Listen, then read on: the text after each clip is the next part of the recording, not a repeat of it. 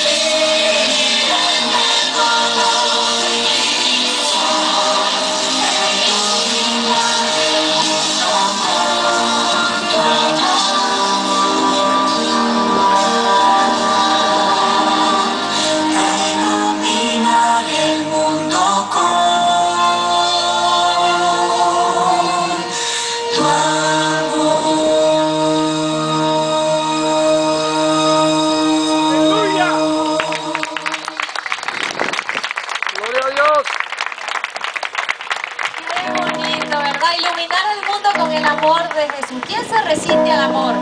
Nadie se resiste al amor.